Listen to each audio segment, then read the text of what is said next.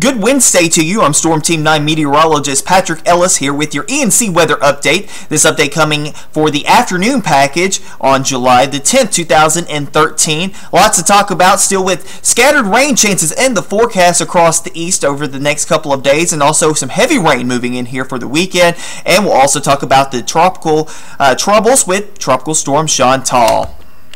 Here's a look at the uh, satellite and radar loop this afternoon, and uh, you can kind of see that we've seen a few showers and thunderstorms close to the coast, and then uh, another refire as you head back off towards the uh, north and the east this afternoon, uh, north and west rather, up uh, north of Greenville, up towards say Hobgood, Speed, Oak City, Windsor, and Askewville, seeing some of these showers and thunderstorms this afternoon. Overall, we are still seeing some of these making their way through Bertie and as well as Martin and southern portions of Edgecombe uh, northeastern portions of Edgecombe, southern portions of Halifax. Currently 86 in Greenville, 90 degrees in Kinston, 90 in New Bern, 88 degrees currently for Richlands, Jacksonville. And here's the heat index. It is absolutely horrible outside. It feels nasty out there. 93 the current heat index in Greenville, 97 at Seymour Johnson Air Force Base, 94 uh, right now at Jacksonville. And here's the look from the uh, 500 millibar chart off the GFS, the 12Z uh, GFS run, uh, valid for uh, right now.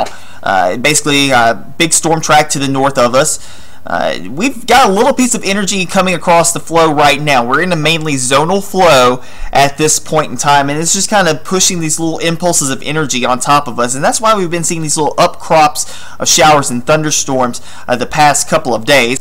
And I think we continue with a chance for showers and thunderstorms through the next couple of hours. I think the best chance will likely stay inland uh, this afternoon. Temperatures are closing in on the 90 degree mark there, along the coast in the mid 80s. Here's a look at the uh, the three kilometer HRRR model, the uh, the, the, high resolution uh, window here. It has the right idea. These scatterings of showers and thunderstorms over the next couple of hours, uh, kind of transitioning off towards the north and east. Now they're going to put down some rain and also some lightning associated with these as well. But overall, the severe threat will be low over the next couple of hours. But I uh, do expect if you do find yourself underneath the shower or thunderstorm this afternoon, expect some gusty winds, uh, some lightning, and obviously some heavy rains. And even as we go into this evening, uh, most of the shower activity should start to die out as we head through the early morning hours of your Thursday. Here's the look on uh, Thursday back on the GFS, and uh, we got another piece of energy just looming off to our north and west. This little piece of energy is actually going to bring us a, a, fairly good chance for some showers and thunderstorms. I think mainly for the evening hours uh, of Thursday and into Friday. Uh, it looks like we're going to have a decent chance for some showers and thunderstorms. And this little piece of energy down up and through here is what is Tropical Storm Chantal. I think through tomorrow, I think we'll stay with a good chance for uh, with a chance for some showers and thunderstorms, mainly in the late afternoon hours. And uh, that's going to be as that little trough of low pressure moves into the area. Temperatures tomorrow afternoon likely uh, still in the upper 80s, mixture of sun and clouds for us. And once again, here's that the energy associated with Chantal and the rain associated with it as well. But you see, it really just falls apart on the GFS. Now, the early track guidance uh, from this afternoon, all over the place. I mean, now we've got several models uh, keeping it on a more westerly track until it gets to about, uh, say, the end, of, the western tip of Cuba, and then starts to move into the Gulf. And then we've got another consensus uh, coming up towards Savannah, Georgia. Uh, these models have kind of gone all over the place the last uh, couple of uh, actually the last 12 hours or so. Yesterday, very good consensus, uh, bringing it up towards uh, Florida. Uh, now the official track has kind of wavered back and forth. It looks like it's going to come across, say, Jamaica, and then move up across central Cuba, and then uh, right along the Florida coast. Here's the official track right in through here. You see all the models just kind of definitely being spaghetti-like uh, at this point as we continue to watch. And we've got this one it comes right up and through uh, eastern North Carolina. That's, uh, though, something, uh, definitely an outlier, but something to look at. Uh, so we're not completely out of the woods at this point, but still we're going to keep a close eye out on it because uh, definitely some of the moisture associated with it will try to sneak its way into the area. Here we are on Friday and a good sweeping trough moving through here. This is what's going to help us uh, get more rain showers across eastern North Carolina deep southwesterly pool uh, of moisture coming out of the Gulf of Mexico. Uh, we could see anywhere from a, a, you know one to three inches of rainfall in some pockets uh, with this setup here uh, going in towards, uh, say, Friday. Uh, temperatures will be a touch cooler. We'll be in the low 80s that afternoon, and some areas may not even make it out of the uh, upper 70s, uh, considering the fact that we'll have so much cloud cover and also the rain showers in play. Here we are on Saturday, and still with the trough on top of us, and it's still bringing up good moisture. So I think that, especially for the morning time hours on Saturday, a better chance for showers and thunderstorms. And that's reflected right here on the uh, surface chart. Now, we'll say this.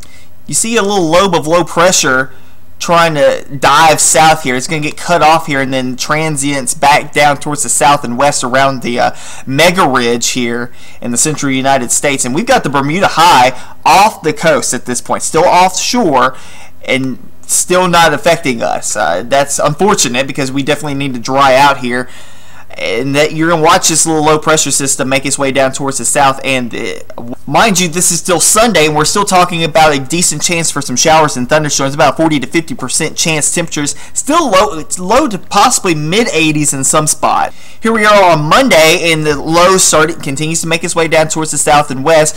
Bermuda High well offshore, and then this little guy down here something to watch. This is a this would possibly be another tropical wave that's coming across the uh, the Atlantic right now. But you see that nothing's really organized underneath that little wave, so that's good news in that department. It's high pressure. The surface high trying to ridge back in here. The upper level high still well back off to the east, but underneath that uh, lobe of low pressure, we're not seeing very much in the way of precipitation uh, across our area. Now, we'll keep chances of rain in the forecast, uh, most definitely, but you don't see very much precipitation underneath that, and temperatures will stay a uh, touch cooler than climatological normals. Will be in the uh, mid 80s that after. That low below pressure starts to shear out over us as we head towards Tuesday. Another decent chance for some showers and thunderstorms. I think the best chance will likely stay inland. Uh, looking at the by Wednesday, finally the uh, ridge starts to build back in here. The Bermuda, Bermuda Ridge starts to build back in here, and that's going to bring in some warmer temperatures and some drier weather